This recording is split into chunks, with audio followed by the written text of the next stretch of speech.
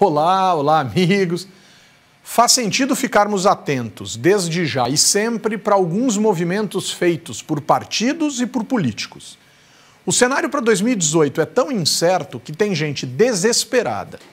Governos, por exemplo, abrem os esquálidos cofres públicos e prometem para a sociedade investimentos com o que não tem para manterem seus sonhos políticos vivos. Partidos trocam dirigentes sob argumentos frágeis para se realinharem nas disputas que se aproximam. A janela de 2018, a de mudança partidária, coloca muita gente em situação de análise para onde pode ir para disputar votos. Figuras são testadas em pesquisas. E não adianta dizer que ainda falta muito mais que um ano.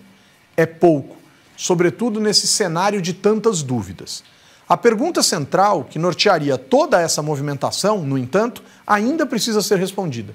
O que será da reforma política para as eleições de 2018?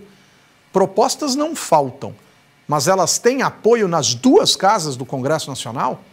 Na Câmara dos Deputados, o pragmatismo e o fisiologismo dão as cartas. No Senado, começará a nova discussão profunda em agosto, com um ar de sonho dourado. Até o começo de outubro, algo estará pronto? Difícil dizer nesse instante. Avança a democracia. Avança.